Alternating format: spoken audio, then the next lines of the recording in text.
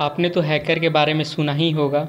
ऐसे में कुछ हैकर अच्छे होते हैं, जो अच्छा काम करते हैं, और कुछ हैकर बुरे होते हैं, जो बुरा काम करते हैं। और कुछ हैकर ऐसे भी होते हैं, जो अच्छा और बुरा दोनों काम करते हैं। आज की वीडियो में मैं इसी टॉपिक के बारे में बात करने वाला हूँ, हैकर के टाइप्स के बारे में, कि कितने प्रकार के हैकर होते हैं।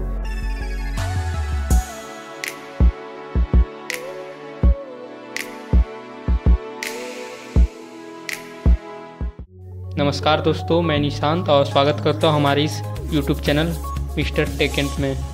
दोस्तों, वैसे तो हैकर बहुत सारे टाइप के होते हैं बट इसे नॉर्मली थ्री टाइप्स में रखा गया है। पहला जो होता है, वो होता है वाइट हैट हैकर दूसरा होता है ब्लैक हैट हैकर और तीसरा होता है ग्रे हैट हैकर तो दोस्तों, मैं सबसे पहले वाइट हैट हैकर्स के बारे में बताना चाहूँगा। जैसा कि वाइट हैट हैकर्स नाम से ही पता चलता है कि जो भी हैकर वाइट हैट हैकर्स की कैटेगरी में आते हैं, वो लीगल काम करते हैं, वो किसी भी तरह का इलीगल काम नहीं करते।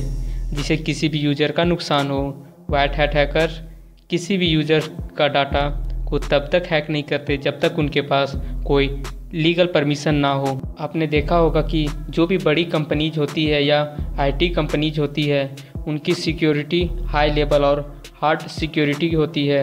ये सारे सिक्योरिटी वाइट हैकर के थ्रू प्रोवाइड की जाती है और बड़े बड़े कंपनी अपनी डाटा की सिक्योरिटी के लिए well trained white hat hacker को हायर करती है।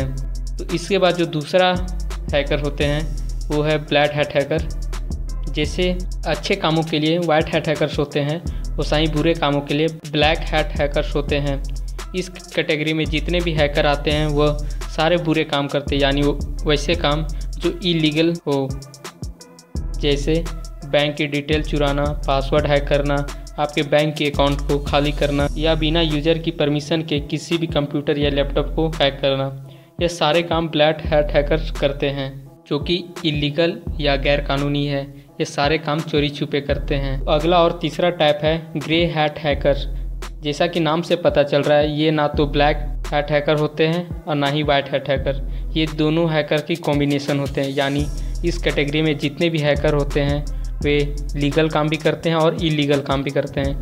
डिपेंड करता है उनके मूड पे कि वो किस तरह के काम करना चाहते हैं। ग्रे हैट हैकर आपके अकाउंट को सेव भी कर सकते हैं और हैक भी कर सकते हैं। तो दोस्तों, आपको पता चल गया होगा कि हैकर के टाइप्स कितने होते हैं और वो कौन कौन से कैटेगरी में रहते हैं। दोस्तों, अगर आपको हैकर के बारे में डीपली से डिटेल चाहिए तो आप कमेंट में बता सकते हैं कि आपको कौन से हैकर के बारे में वीडियो चाहिए और क्या आप हैकिंग के बारे में और जानना चाहते हैं।